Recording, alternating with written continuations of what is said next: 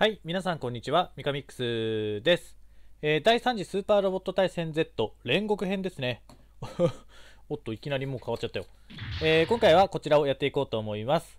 えーこちらは天国編についている、まあ、初回特典ですね。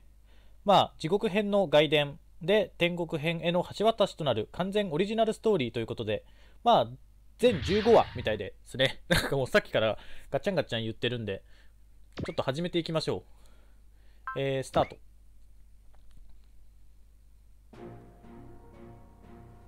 さまざまな世界、さまざまな宇宙、別の時空に存在する、それらは平行世界と呼ばれ、互いに交わるはずのないものであった。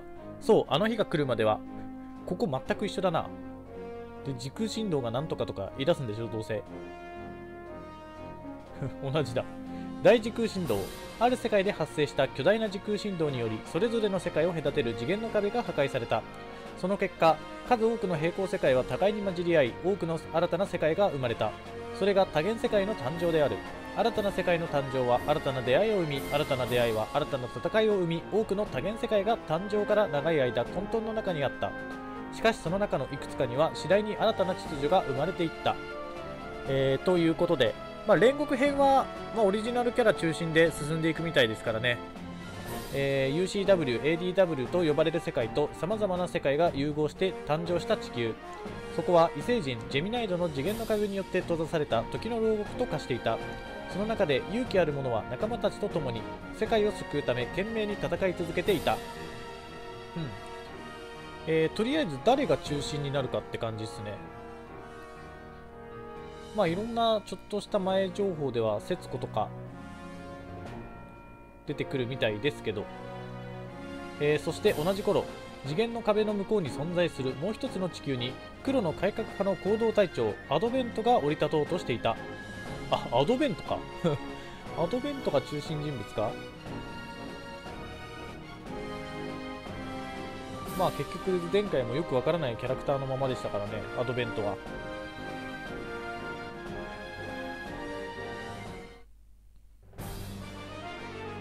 第1話。緑の地球。緑の星かな？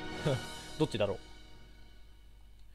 ただこっちはいきなり第1話始まりましたね。プロローグとかなく。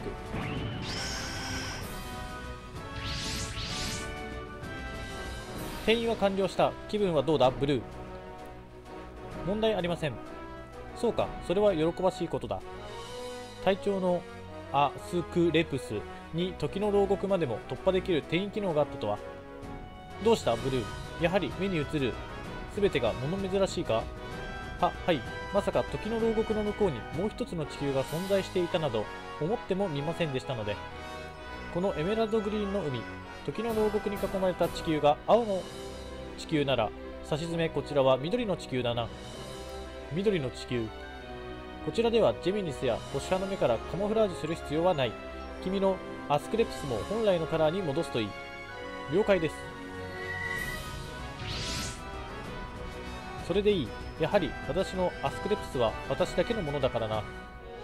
我々が加入する前、エルガン・ローディックという後ろ盾を失った黒の改革派は崩壊寸前だったと聞く。だが、アスクレプスと共に隊長が現れたことで、改革派はかつて以上の力を取り戻しつつある。隊長とアスクレプスとは一体。コードブルー、君の不安もわからなくはない。だが今は私を信じてついてきてほしい。は、はい。ありがとう。君たちの存在は私にとって彼らと同じく喜ばしいものだよ。それで隊長、一体我々はこの緑の地球で何を？それを話す前に、まずは出迎えの相手をしよう。あれは？おー、ジェミニス。ジェミニス、なぜ奴らがここに？いや、違う。彼らはサイデリアルと呼ぶべきだ。サイデリアル？そうだ、ジェミニスはサイデリアルに属する一部隊に過ぎない。やるぞ、ブルー。彼らは我々の敵だ。了解です。行くぞ、サイデリアル。この世界をお前たちの好きにはさせない。お、普通に SR ポイントもありますね。3ターン以内に敵を全滅させる。その際、アドベントが敵を5機以上撃墜する。5機か。グリッドはちょっと、オフにしましょう。えー、で、とりあえずこっちでいいかな。で、えー、こいつはここまあアドベントを前面に出して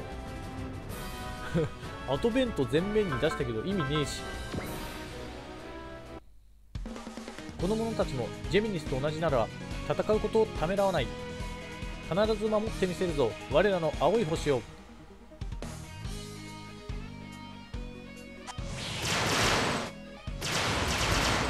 攻撃のリズムが一本上司だな。抵抗は生きる者に与えられた権利だ。次元回路が今開かれる。こんなんだっ準備は整った。やるぞストラルシュート！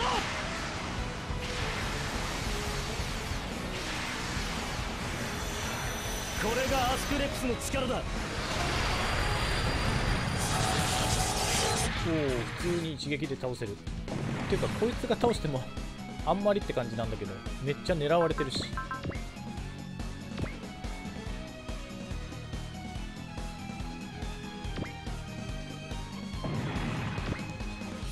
えーと5機だろ全部で。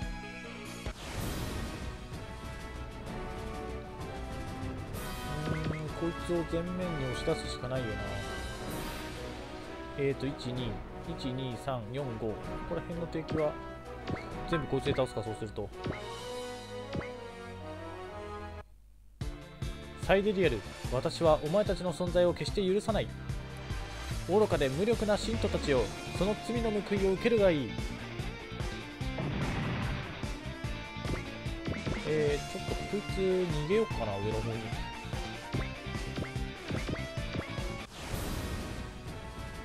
さあどうだ？これで狙われるか。狙ってきた。ホールディングスマッシャー。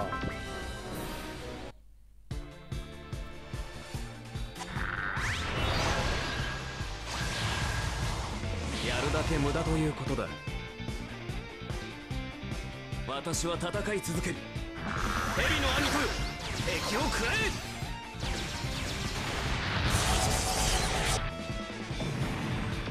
これでうわこいつとかこいつは上に来るか。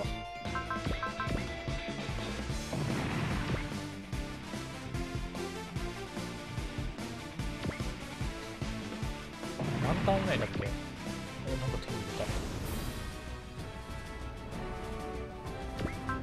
えーとディメンションリベレーター。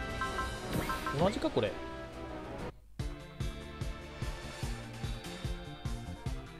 狙いはこの星の次元力か。リベレーターよ。我が手に来い。ターゲットインサイ全く一緒だなブルーと G ディメンション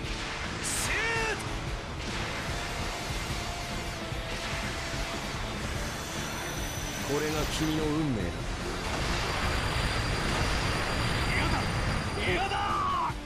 敵が乗ってる。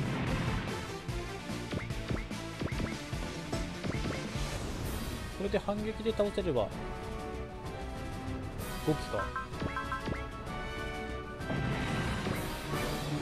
OK サードポイントゲット終わったか。隊長あのサイデリアルなるものは一体？言った通りだ。我々黒の改革派の敵。すなわち人類の進化を歪めるものだ。